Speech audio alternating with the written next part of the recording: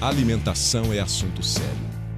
Mais da metade da população brasileira está com excesso de peso, incluindo sobrepeso e obesidade.